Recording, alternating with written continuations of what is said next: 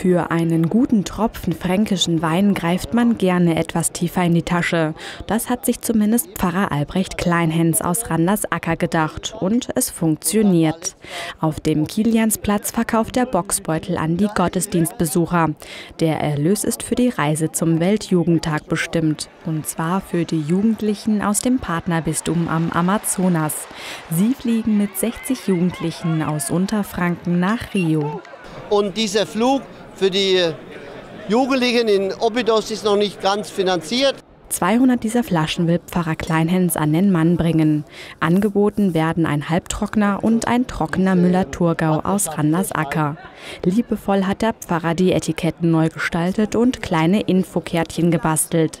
2,50 Euro pro Boxbeutel gehen direkt an die Jugendlichen für den Flug nach Rio.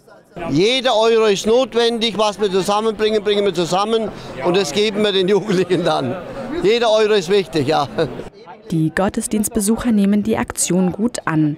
Auch Generalvikar Karl Hillenbrand und Bischof Friedhelm Hofmann lassen es sich nicht nehmen, sich an der Aktion zu beteiligen.